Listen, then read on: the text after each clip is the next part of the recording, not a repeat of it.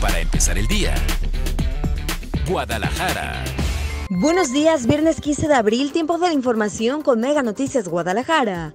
Decenas de tapatíos aprovecharon el inicio de los días santos para salir a vacacionar a algún destino turístico, provocando congestionamientos principalmente en las salidas a Vallarta y Colima, que lucen saturadas de paseantes. Diferentes centros de salud del IMSS y del ISTE ofrecen vacunas sin cita contra COVID-19 durante estos días santos. En mayo podrían iniciar campañas para vacunar a menores de edad. La Policía Vial prestará apoyo este viernes para la realización del Via Crucis que se realiza en algunos puntos de la ciudad, tales como en Nuestra Señora del Sagrario, donde habrá cortes preventivos a la circulación en Avenida Alcalde y Jesús García, además en la parroquia de San José de Analco, con cortes preventivos en Avenida Revolución y Belisario Domínguez. A más de un año de la matanza de 11 trabajadores de la construcción en la colonia La Jauja, en Tonalá, Jesús M. fue vinculado a proceso penal por homicidio calificado y tentativa de homicidio.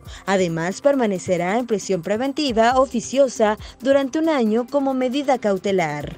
Síganos en redes sociales como Mega Noticias GDL y toda la información nacional en el portal meganoticias.mx. Presento la información Janet Vázquez Jarquín. Para empezar el día. Guadalajara.